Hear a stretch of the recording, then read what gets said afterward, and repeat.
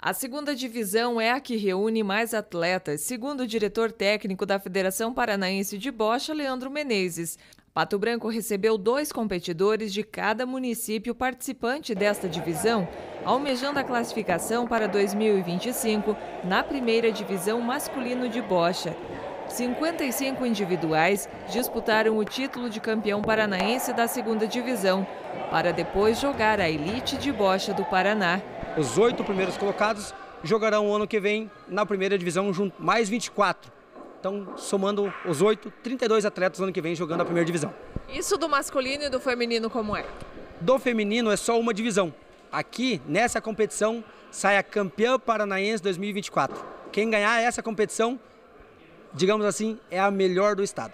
20 mulheres competiram na cidade na primeira divisão.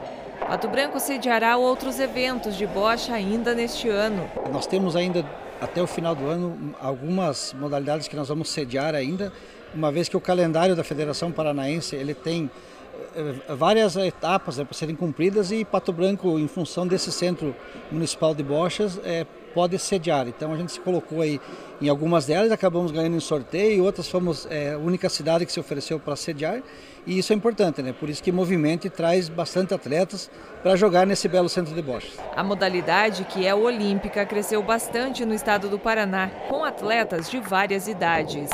De frente à federação, sou atleta também, inclusive jogo a primeira divisão. E como atleta, eu vejo que a bocha cresceu muito, não só no Paraná, nível mundial, mas é, no Paraná teve uma crescente muito grande de equipes, de atletas, principalmente juvenil, que geralmente o pessoal falava que a bocha era de, de velho, hoje não. Hoje nós temos Campeonato Brasileiro Juvenil, que dá aí 80 jogadores. É, o Paraná tem o Campeonato Juvenil Paranaense, que foi a maior competição do país. Nenhum estado teve uma competição tão grande quanto o nosso juvenil do Paraná em, termo, em torno de atleta, né? De todas as categorias, tem mais ou menos uma ideia de quantos teria o Paraná? Nós temos hoje 70 equipes, equipes. Cada equipe tem mais ou menos é, 10 a 15 atletas inscritos. Então a gente tem mais de mil atletas atuando no Paraná hoje.